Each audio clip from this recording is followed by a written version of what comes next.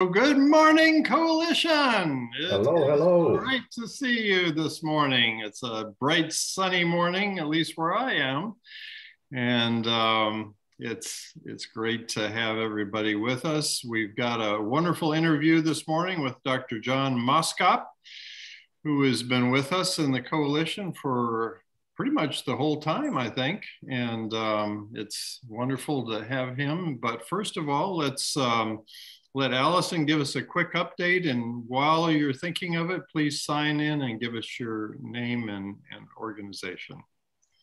Hello, everyone. Good morning and happy Friday. I hope you all had a nice week. Um, just a couple of updates I would like to highlight. The first one is a caregiving, um, family education, and support class hosted by Durham Tech. That registration deadline is Sunday. Um, this year, they are hosting that virtually, um, so feel free to check your member email to register for this class. Another reminder that the Coalition on Aging is having their annual meeting in September. Um, that link to register is also in your member email. They are doing a hybrid model this year, so you may attend virtually or in person. Another annual conference, the Carolina Center has their annual conference, so feel free to visit their website to register and learn more information there. Um, there are a lot of great speakers there um, discussing the topic of serious illness, so go ahead and check that out on their website. And then lastly, um, the advanced care planning um, issue brief. Um, visit our website, you log in, and then under the resources tab, the third one down is the issue brief. You can view the issue brief right here on the screen and then fill out this brief form if you would like to sign on on behalf of your organization. Um, you can also download a PDF copy if you need to share it within your networks in order to get permission to do so.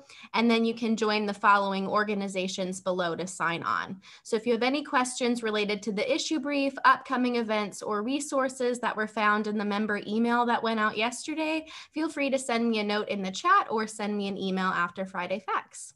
Thank you. All right. Thank you, Allison. So John, Dr. Moskop, great to have you with us. Great to be here. Thank you. So I'm going to read just a, a, a, snippet of your bio here. Uh, John C. Moskop, PhD, is professor of internal medicine and Wallace and Mona Wu Chair of Biomedical Ethics at Wake Forest School of Medicine.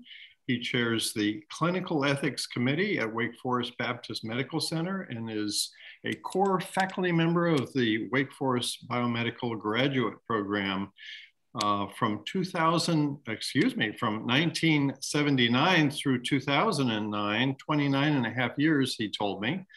Uh, he was a faculty member in the Department of Medical Humanities of the Brody School of Medicine at Eastern Carolina University. And I could go on, but rather than spend a whole lot of time uh, re reading through that, and, and I'm sure there is a lot more because you've published hundreds of, uh, of articles and you've written a, a great book, uh, Health and, and uh, let's see, Ethics and Healthcare, an introduction, which was published uh, in 2016 by Cambridge University Press. Um, but let's let's talk a little bit about who uh, John Moskop is uh, and and a little bit about your background, if you don't mind. So, where'd you grow up, and tell us a little bit about what you did when you were young. Sure, uh, happy to do that. Uh, I was born and raised uh, in Chicago, Illinois. Um, I was the eldest of five uh, children, um, so that's where I, I, spent my early years. Um, uh, uh, I did my undergraduate uh, studies at the University of Notre Dame and then did the uh, doctoral program in philosophy at the University of Texas at Austin. Um, and uh, uh, what else shall I say? Uh, uh, well, so you grew up in Chicago, John. You, yeah. in, in, far, you, you told me it was far south Chicago, very outside, yes, mm-hmm. right. uh, community. Your grandparents were Dutch on one side and mm-hmm. German mm-hmm. on the other. So when did they immigrate to the United States?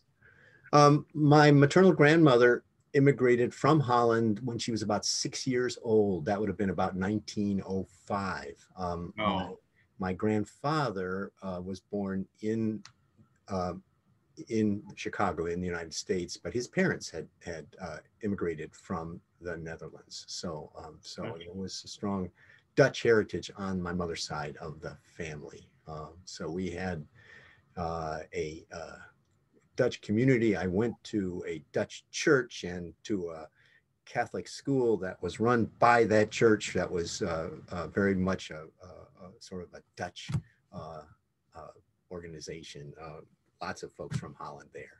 Uh, mhm. I, I, I had a friend who was Dutch, uh, and she used to say, if you're not Dutch, you're not much. I don't like know that. if you've ever heard that or not. no, I hadn't heard that. that was an interesting statement Yeah. that she used to say. But um, so, uh, what, what did you want to do when you were growing up? What you know, I'm you you told me you weren't always thinking about ethics or bioethics, but what what what what was driving who you were? Um, I- you know, I enjoyed uh, academics uh, and I was a good student. So I really didn't have a clear career path in mind in high school. Um, and it, not in the most of my college days either. Um, I ended up uh, majoring in uh, the program of liberal studies at Notre Dame, which is a kind of a great books program on the sort of St. John's University of Chicago model modified. But I also did a foreign study program for a year as an undergraduate uh, in Innsbruck, Austria. So I had a Oh, great experience uh, and introduction to uh, to living in Europe for a year. Um, so um, when it came time uh, for me to think about what to do after college, I decided I would go on to uh, uh, apply to philosophy graduate programs and did, and uh, ended up choosing uh, the the doctoral program at the University of Texas at Austin, partly because they offered me a um, uh, a, a teaching uh, uh, stipend as a you know uh, which was important for me uh, financially to be able to do that. Uh, yeah, absolutely, absolutely. mhm. So you you you told me earlier that um, when you went to UT Austin, uh, you were you were still sort of in a bit of a general philosophical studies uh, program. Yeah. And at a certain point, you were kind of guided to uh, bioethics. Tell us about that. Sure, this was a, a, a- real uh, coincidence um, because bioethics was not on my radar in my first couple of years in graduate school. Bioethics really wasn't, was just emerging as a sort of an independent field of inquiry within Right. ethics at that time.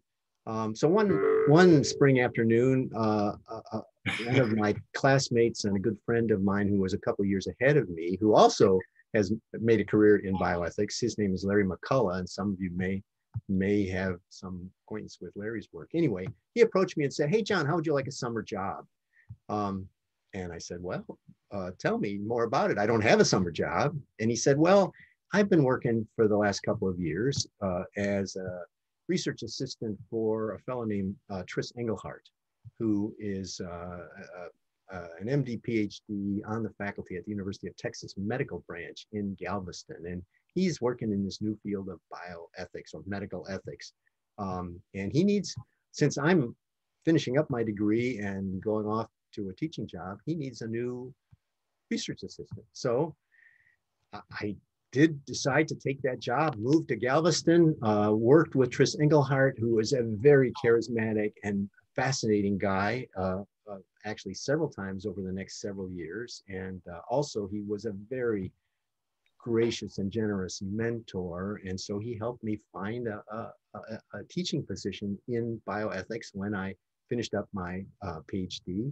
And I've been in it ever since. Um, um, uh, so it was, you know, it was a great uh, um, opportunity for me and, and uh, to sort of get into this new field of bioethics um, fairly early on. Um, my first job was in 1979, and my first permanent job was at the new medical school that had just been founded several years earlier at East Carolina. Uh, and I joined the faculty there in, uh, in July of 79. and spent, as you as you mentioned, almost 30 years there before I uh, took the job I'm in now uh, at the Wake Forest School of Medicine. So, you know, most of my career has been doing bioethics and clinical ethics at uh, at academic medical centers and medical schools. So that's great. Uh, tell us what what was it about medical ethics, bioethics that that intrigued you, and what what has your you know your, your intellectual uh, curiosity been piqued by the most? Sure. Um, so uh, in graduate school in philosophy, I tended to be more interested in sort of less technical areas of philosophy, not so much philosophy of science, not so much philosophy of language, which were very dominant areas within philosophy at that time. Um, mm-hmm.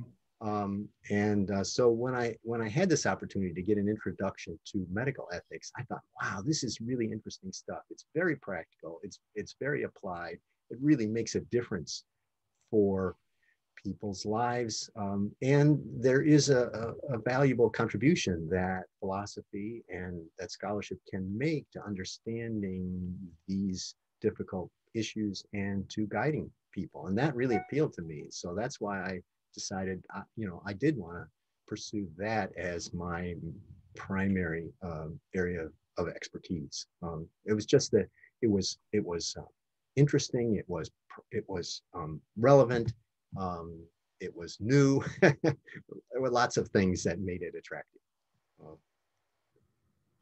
can you tell us a quick story or an anecdote about where you've found uh, bioethics to uh, really, you, you, said practical, so that, that, that got my attention. Mm-hmm. Uh, where, where the practicalities of that really uh, fell for you and, and, and what, what was the, the, the focus?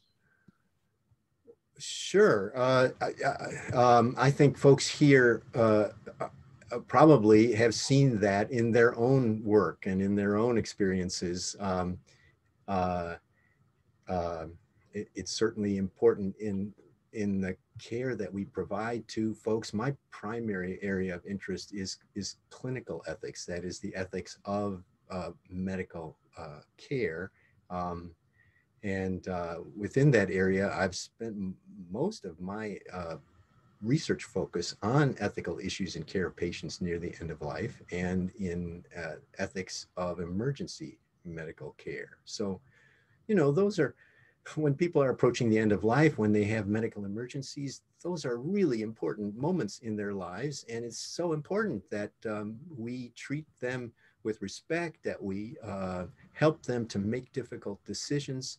Um, uh, and so those are the kinds of things that, uh, that, that I think are, are, you know, really make a difference for people. And, you know, we see this all the time here in our medical center, and this is true for all academic medical centers in the um, ethics consultation requests that we receive. Um, you know, we get requests to help our, our uh, medical teams and patients and families really um, struggle with difficult decisions and uh, and and we hopefully we, we hope we can make um, some contribution to helping them make good decisions about those very important issues in their lives. So you know i think there's just lots of of of, um, of, of practical value to the to this work.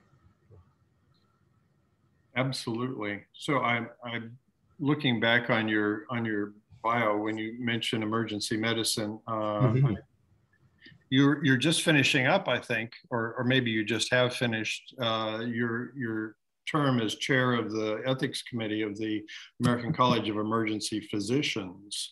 I finished the first year, but they've asked me to to chair the committee a second year, which is ah. fairly standard uh, for that organization. Okay, I'm doing it again in the in the coming year. Mm-hmm. Okay. Yeah. So so what what is the most um, uh, interesting part of, of that role as chairing that that uh, committee of, of bioethics and, and, emergency medicine? Sure. Well, um, this is a standing committee of the college. Many medical professional associations have ethics committees, and um, it is charged to do a number of things. It's charged to help develop policies uh, for uh, the college on ethical issues that are important to its members. Um, it's charged to develop um, and, and write scholarly papers on issues um, of interest to uh, uh, emergency physicians regarding ethics.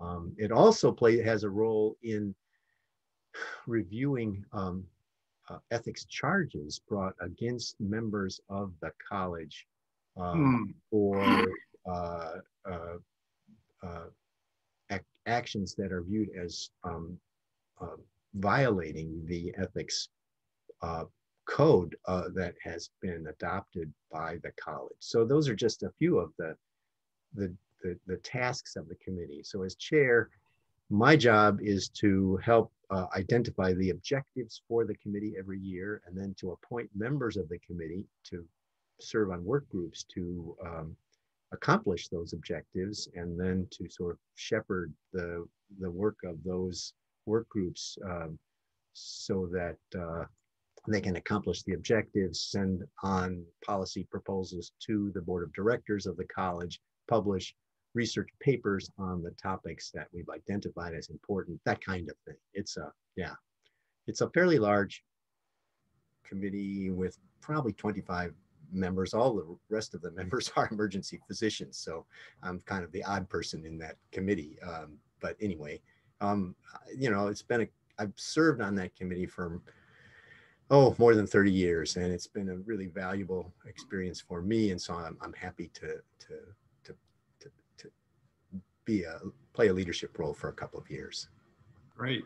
So my clinical colleague here has a has a question. Yeah. So so I'm going to out a little bit of my bias here, but I think that we as clinicians have blind sights in what we do when we're caring for people. We we have a you know our own our own philosophies of what people should or shouldn't do when they're seriously ill and that kind of thing. And we bring those to the table with us. What is, how can we use bioethics committees and people like you to improve the quality of care for seriously ill people? Because I don't think we know a lot of times what we're doing or how we're doing what we're doing.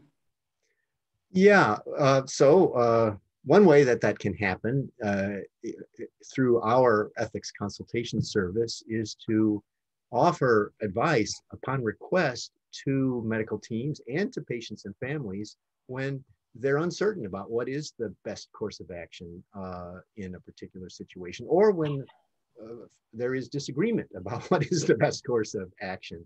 Mm-hmm. Um, and uh, it turns out that the majority of the requests that we get for ethics consultation are about care near the end of life uh, because mm-hmm. that's so important and because people have different um, views about what is the best way to uh, to, to to to get care uh, at that time. So that's certainly one way. We also uh, have a policy function in our ethics committee so we develop policies on things like do not resuscitate orders, advanced directives, treatment decisions near the end of life, um, determination of death by neurologic criteria. Medical centers have to have policies on all of those uh, issues or pretty much all of those issues. And so we try and develop really helpful guidelines for people um, one of the ones we recently have revised, for example, is a policy on deactivation of cardiac implantable electronic devices for people who are approaching the end of life, which is a tricky issue. Um, um, and uh, we're hoping to offer guidance to help people uh, make those decisions and have those decisions honored. But we've also done some, I think, important work uh, statewide uh, that I hope has improved end of life care. I was one of, I think, four or five people back about 20 years ago that uh, uh, under a grant that was given to the Carolina Center that was led by Dee Lehman at that time, uh, hmm. went up to La Crosse and got the uh, instructor training in the La Crosse respecting choice mm-hmm. approach to facilitating uh, advanced care planning and advanced directives. And so that group of folks came came back to Carolinas and did dozens and dozens of workshops to train advanced care planning facilitators. Um, and uh, Keith, correct me if I'm wrong, but I think our uh, uh, chaplain interns are still using the the respecting choices curriculum to to to become advanced care planning facilitators here for us at, at Wake Forest. Is that right, Keith? Actually, we quit a couple years ago. Oh, we did due to time and money. Ah, okay. Uh, and, and uh, to be uh, uh, upfront, actually, the things that we teach our chaplain residents uh, really encompass a lot of the aspects of what Respecting Choices does as well. Mm, okay, yeah. And the other thing that I think maybe some of you know is that a group of us here in the Triad about a, a decade ago said we think we need a better form, a better uh, approach to advanced directives um, that's simpler, easier for people to use. And so a group of us got together, drafted a, a simpler form, uh, got our hospitals to approve the use of that form in our hospitals. Um, and uh, that form, I think, has been viewed as a useful form for hospitals all around the state of North Carolina and is now in wide use. And so my view, my impression is that that form makes it easier for people to understand and complete advanced directives and easier for clinicians to interpret and apply advanced directives. So those are two necessary conditions for making uh, advanced care planning a useful tool. Um, so that's another, you know, uh, I think important way that we've been able perhaps to advance the the the, uh, the usefulness and the importance of, of advanced care planning and advanced directives here in North Carolina. Um, so I think there are lots of things that we can do and that uh, we do do in uh, our hospitals to to help clinicians and families and patients um, um, address these issues.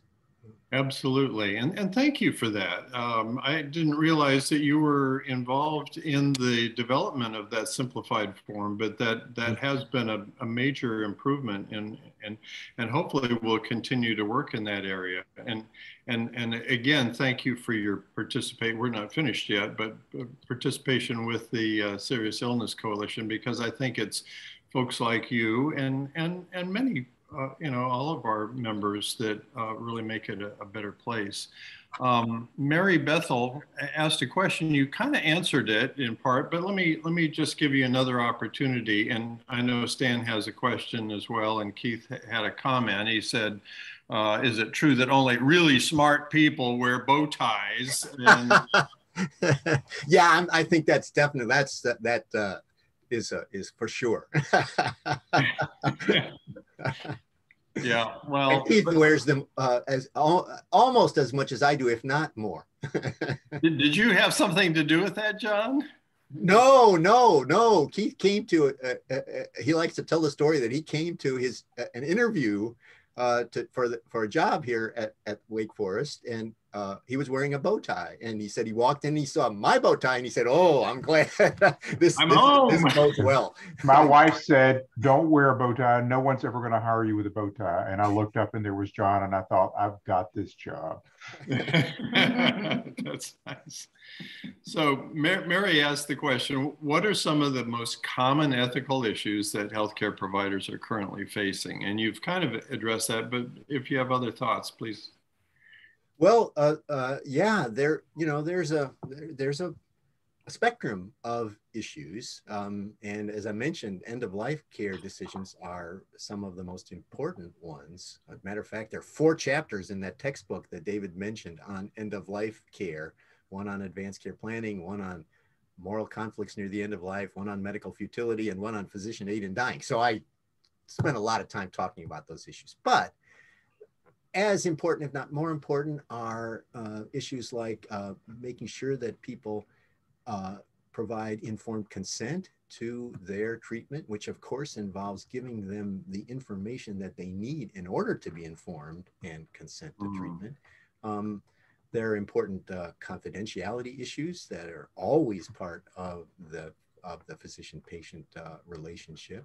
Um, there are very difficult issues at the beginning of life as well as at the end of life, as all of you folks well know, uh, um, in, terms of, um, you know, of course, uh, termination of pregnancy and care for very severely um, ill newborns. So um, those are some of the basic issues that we cover in the sort of core survey course in ethical and social issues in medicine for our medical students here at uh, at, at, at the medical school. Um, and there are there are a number of others as well. I mean, the pandemic has raised lots of important issues and has really highlighted the the the fact of disparities in access to health care and raised questions about what should be our response to those disparities and how can we um, um, give people uh, better access to quality health care. So that's certainly a, you know an issue that we struggle with and and um, haven't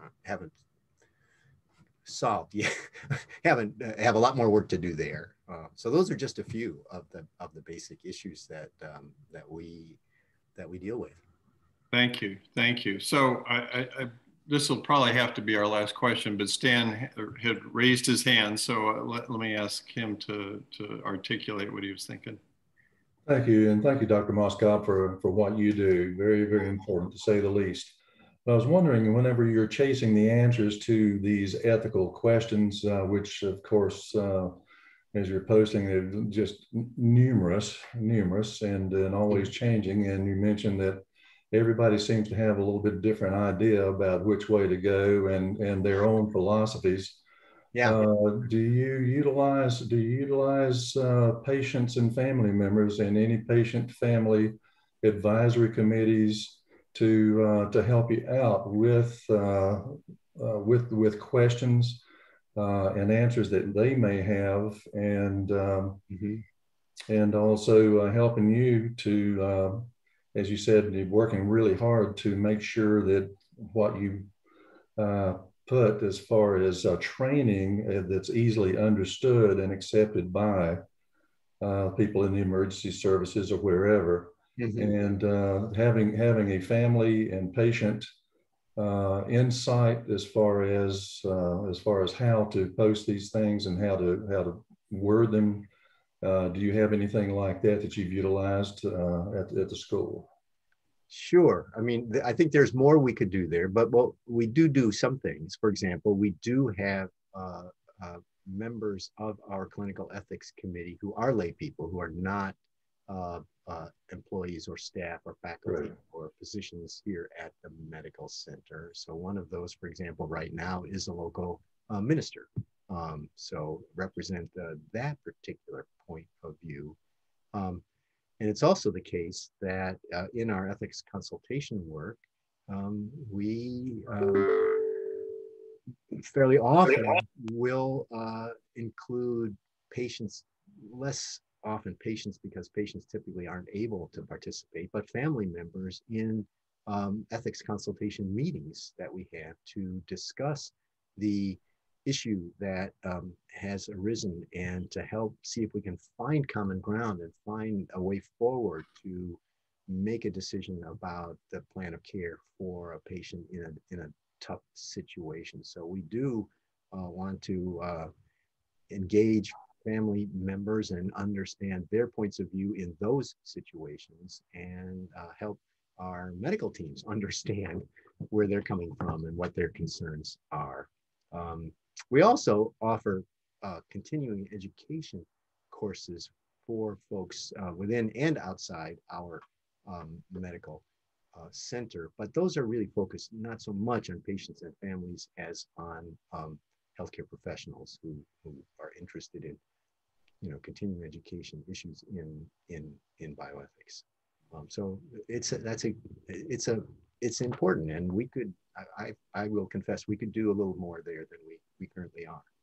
Um, well, maybe we'll we'll have an opportunity to to chat about that some more because we've got our new chair of the uh, uh, caregiving and patient engagement working group here, Karen Appert, and Stan's I think engaged in that. So anyway, thank you very much, Dr. John Moskop. It's wonderful to get to know you a little bit better and uh, get a little bit of understanding of who the person is behind the bow tie.